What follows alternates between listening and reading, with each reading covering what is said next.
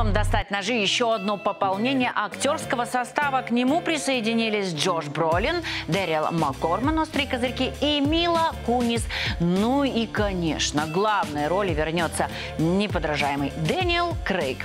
Режиссером вновь выступит Райан Джонсон. Фильм, получивший подзаголовок «Wake Up Dead Man», выйдет в 2025 году. Это киноафиша ТВК, и мы начинаем прямо, ну, сейчас. Первая лента российского производства «Непослушники». Дима уже не монстр, а вполне успешный менеджер по продажам в автосалоне. Саша Черный – добропорядочный монах в тихой обители у отца Анатолия. Все живут спокойно, пока в монастырь не привозят четырех дедомовских непослушников, двух братьев и двух сестер. Неоднократные побеги и мелкие кражи приводят к тому, что ребят могут отправить э, в место куда более суровое, чем детский дом. Следователь не хочет ломать им жизни, дает последний шанс. Привозит их к отцу Анатолию, надеясь, что если тому удалось э, перевоспитать демонстра и Сашу Черного, то с маленькими детьми детьми, тем более получится. Но как же он ошибается?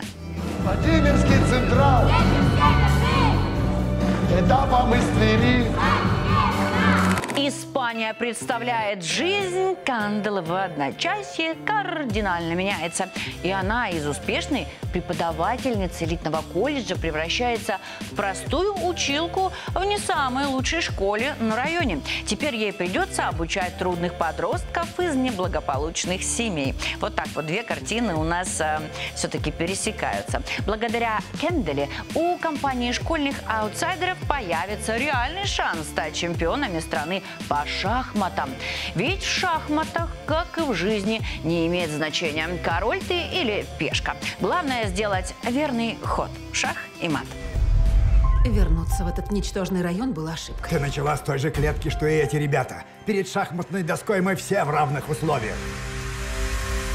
«Научи меня жить» – это работа казахов. По сюжету успешный бизнесмен волей случая становится настоящим наставником для молодого официанта, который случайно спасает ему жизнь. «Научи меня жить». Повторите. Как мы должны работать? Честно. Громче! Громче я сказал! Сидеть! Куда пошел? Сядь на место! Сядь! Ну и на очереди у нас асфальтовые джунгли. История врача и его первого года на работе в середине 90-х Гарлеме.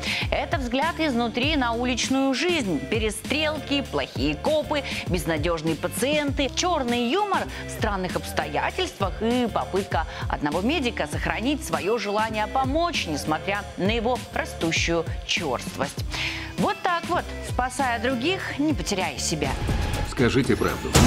Намеренно ли медик Рудковский отказал в реанимации? Что я делаю? Ты спасаешь жизни людей! Говорящие драконы когда-то жили в гармонии с людьми, но теперь их род в опасности. И только одна отважная девочка, и это не я, к сожалению, может спасти магических существ. Ее ждет полная опасности путешествие через самые волшебные места Древнего Китая. Последний дракон на экранах страны.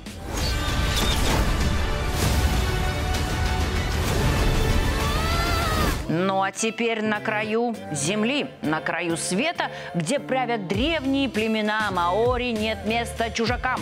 Здесь почитают духи предков, за кровью платят кровью, а сердце прекрасной девушки способно разжечь войну. Но чужаки пришли не одни, с ними бог, медицина и порох. Месть, смерть идут рука об руку. Сражайся или умри. Удачи вам!